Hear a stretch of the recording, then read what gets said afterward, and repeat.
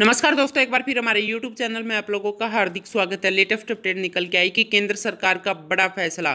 कर्मचारियों को तीन प्रतिशत डीए वृद्धि और एरियर्स पर आई नई अपडेट एआईसीपीआई के तहत मिलेगा वेतन।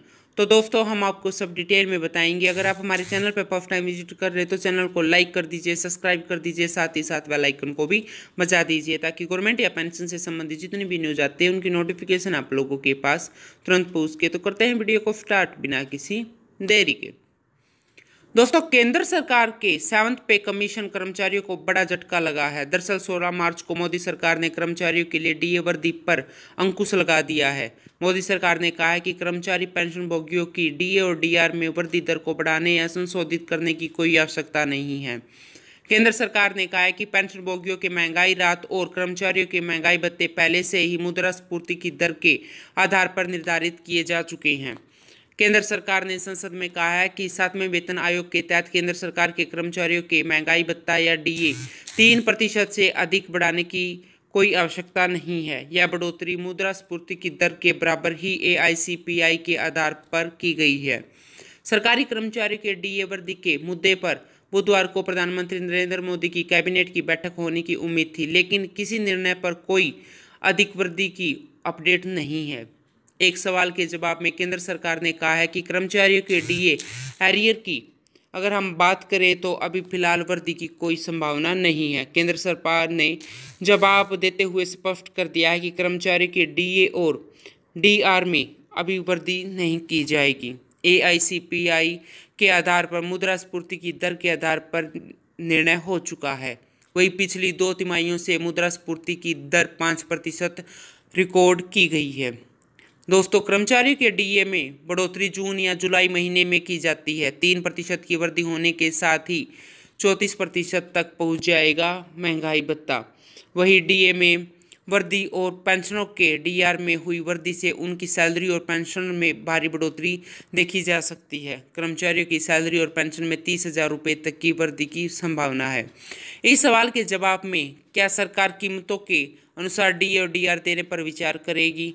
और डी और डीआर को तीन प्रतिशत पर स्थिर नहीं रखेगी। केंद्र वित्त मंत्रालय में राज्य मंत्री पंकज चौधरी ने कहा कि फ़िलहाल यह मुद्दा नहीं उठा है। पिछले साल जुलाई, सितंबर तिमाही में औसत खुदरा महँगाई भत्ता पाँच दशमलव ज़ीरो आठ प्रतिशत थी। 2021 की अक्टूबर दिसंबर तिमाही में महँगाई की औसत दर पाँच दशमलव ज़ीरो एक प्रतिशत थी। जनवरी 2022 के महीने की अगर हम बात करें तो अखिल भारतीय उपभोक्ता मूल सूचांक संख्या प्रेस विज्ञप्ति का सांख्यिकी डेटा श्रम ब्यूरो द्वारा 28 फरवरी 2022 को जारी किया गया था। A I C P I index zero point तीन अंक गिरा और एक सौ पच्चीस दशमलव एक पर रहा।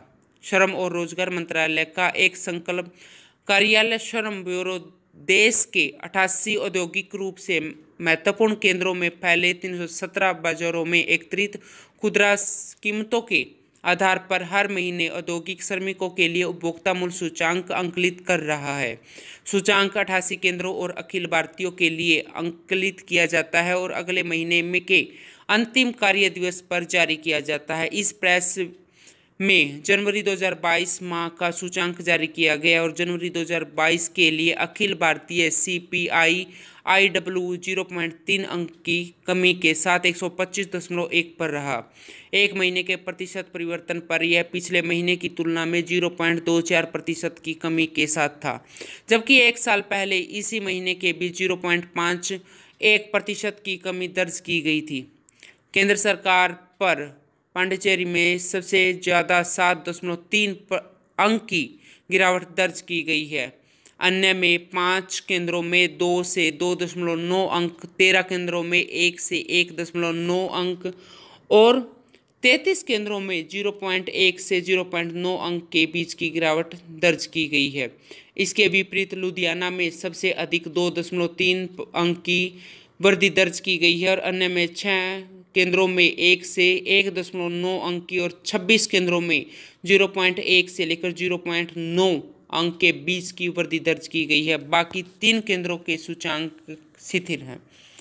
दोस्तों, साल दर, साल मुद्रास्फूर्ति पिछले महीने के पाँच दशमलव पाँच छः प्रतिशत और एक साल पहले इसी महीने के दौरान तीन दशमलव एक पाँच प्रतिशत की तुलना में पाँच दशमलव आठ चार प्रतिशत रही। इसी तरह खाद्य मुद्रास्फूर्ति पिछले महीने के पाँच दशमलव नौ तीन प्रतिशत और एक साल पहले इसी महीने के दो दशमलव तीन आठ प्रतिशत के मुकाबले में छः दशमलव दो दो प्रतिशत रही थी। तो दोस्तों, आज के लिए इतना ही। मिलते हैं नेक्स्ट वीडियो में। तब तक के लिए जय हिंद, जय भारत।